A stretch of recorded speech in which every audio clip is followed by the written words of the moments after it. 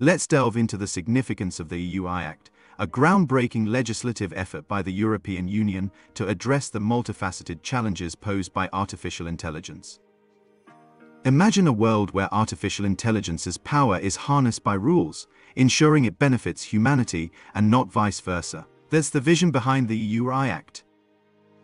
Diving into the RAI Act, we find it's not just about control, but fostering innovation. By categorizing AI systems based on risk, from unacceptable to minimal, the Act aims to protect without stifling creativity. A delicate balance indeed.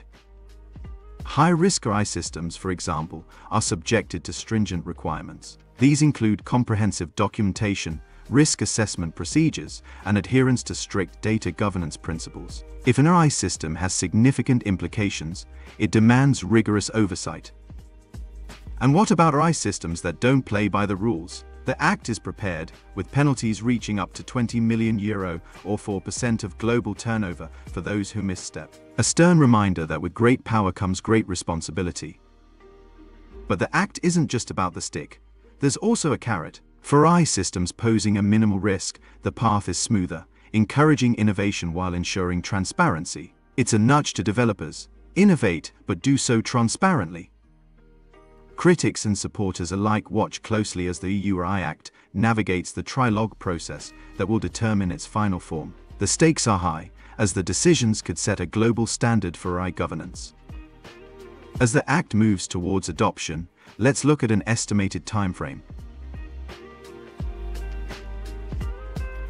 With many provisions not coming into effect until at least 2025, there's a window for preparation a time for developers and users alike to align with the future of AI governance. But adopting the Act is just the beginning. The real challenge lies in implementing and turning words on a page into actions that shape the digital landscape. It's a journey that will require steadfast commitment to the principles of trustworthy AI. So, as we stand on the cusp of this new era, let's embrace the EU AI Act, not just as legislation, but as a vision for a world where technology amplifies our potential, safeguarded by rules that ensure it remains a force for good.